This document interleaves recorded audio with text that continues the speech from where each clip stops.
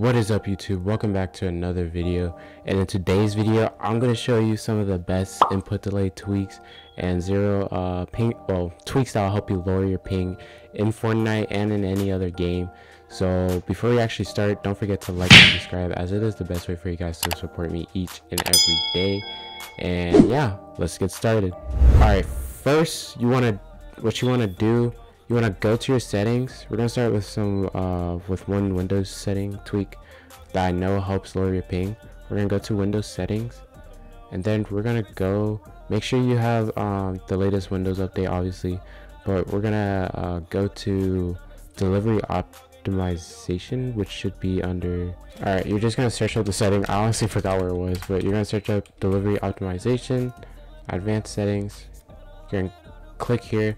Then first uh, by default, I think absolute bandwidth will be on. But what you want to do, you just want to copy what I have here on the screen. You're going to make sure you clicked percentage of measured bandwidth. Uh, and then you're going to click on limit how much bandwidth is used for downloading updates in the background. Limit how much bandwidth is used for downloading um, updates in the foreground. And gonna, it's going to probably be up here. Just make sure it's all the way down here to 5% for both. Then for upload settings, you're gonna do the same thing. It's probably I have no idea what the default uh, what it's gonna look default, but just bring it all the way to five gigabytes and five percent. Select both, and yeah, there you go. And that's pretty much it. And then you're gonna click out.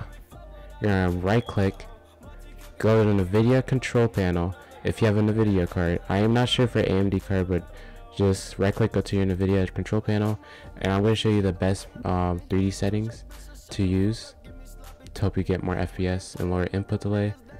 So what you're going to want to do, you're going to go to image scaling, make sure this is off, make sure ambient occlusion is off, filtering, anisotropic filtering off, so off, off, off, off, off, off.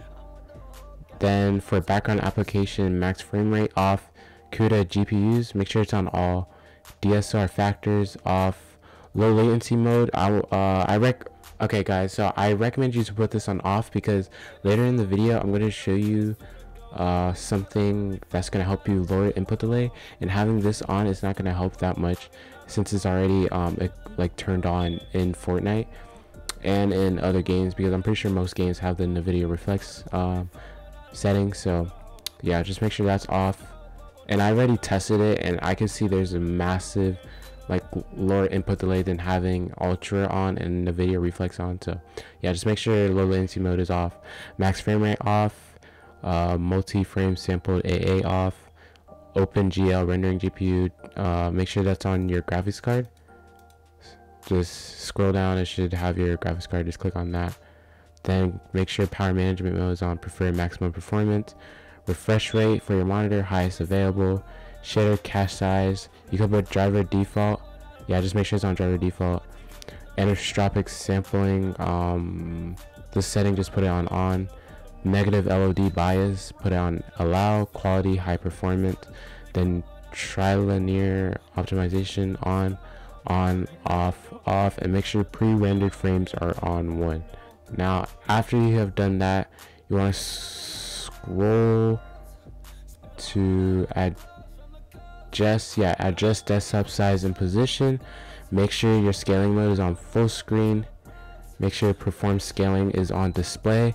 And make sure I'm pretty sure you can check this. I don't think this, this is optional. Um, I have it turned off but these th these settings right here have like gave me the lowest input delay in Fort and it's all it's like amazing. So yeah those are the settings for the NVIDIA control panel I recommend you guys using these settings if you guys want lower input delay. And yeah now I have one more tweak for you guys that I'm to show you real quick. And yeah it's gonna it's a it's a it's a short process but it you have to follow the steps in order to do it so let's do it. Alright guys so what you want to do you want to go to your keyboard and type windows r then the run um, command is to pop up. You're to type in percent local app data percent then click OK. Then you're gonna scroll down look for Fortnite and then we're gonna delete it. Yes we're gonna delete the Fortnite game setting what this is gonna um, do is gonna reset your game like remove any cache all that stuff stuff um, that are in the past seasons and all that. We're gonna refresh it and just create a whole new folder for this season. And i'm gonna show you guys how to do that. So just delete the fortnite game folder. Then after you do that you're gonna head back into fortnite? All right so fortnite's gonna load up. It might like have like a yellow bar in the bottom or saying it's updating or loading or whatever but it's gonna um, open back up. Then it's gonna say this um i'm gonna say confirm.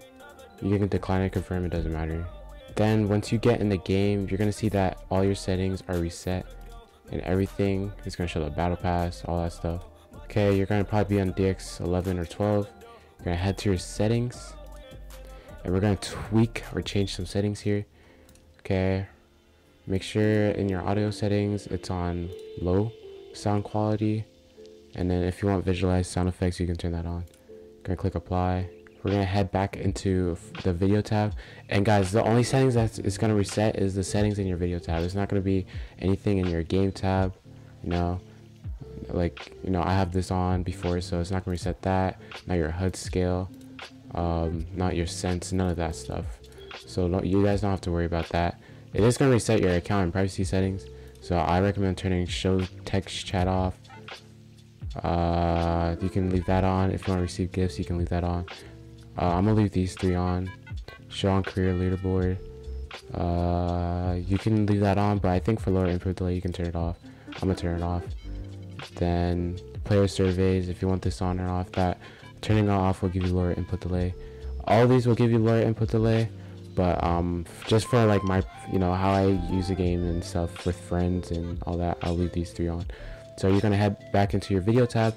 Make sure your window mode is on full screen uh, if you're using stretch res uh, uh, you can go back to your res uh, I somehow like randomly like I, I added my stretch res and it somehow was in the game so um, I'm using 1440 by 1080 I'm at 1440 by 810 make sure your frame rate is at your monitor's um, highest refresh rate so mine is 44 hertz brightness I'm leaving at 100 user interface I'm leaving at 1x you can use any clear mode. I'm using Deuteranope in 8.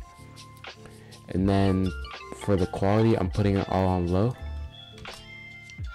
Okay. Make sure auto download, auto download high resolution is off. Okay, guys, and now we're getting to the most important stuff. So I need you guys to, you know, pay attention. All right.